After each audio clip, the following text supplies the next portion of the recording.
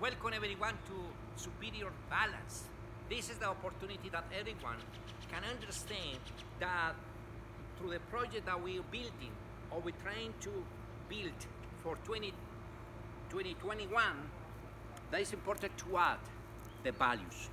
How about that you add the values in your family, in your business, or in your studies? Like, for instance, the value of perseverance, or the value of humility, or the value of honesty. How wonderful it is for everyone to create these kind of columns in your project. Values are like columns to support whatever you want to build up. That is important that in building society we consider that everyone deserves the second opportunity to build the new style of life. Please come to us and we're trying to help you how you can uh, choose uh, the values. That is important.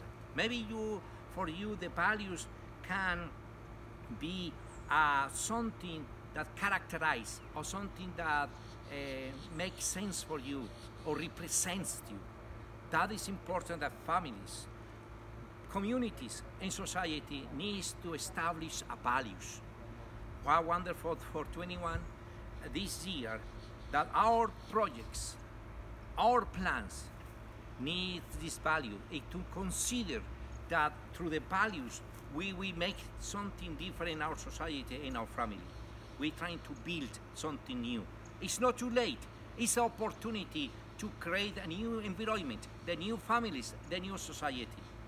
With your help and our help, all together, we can bring people the second chance and to bring the, the, bright future they deserve. And your donation to Building Society will make this possible.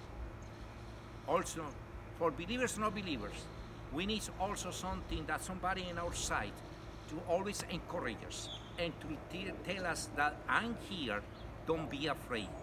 For those who are believers, Jesus Christ taught us today in the Gospel of St. Mark, I instructed to the apostle that he is here to dispel every emotions that makes me fear.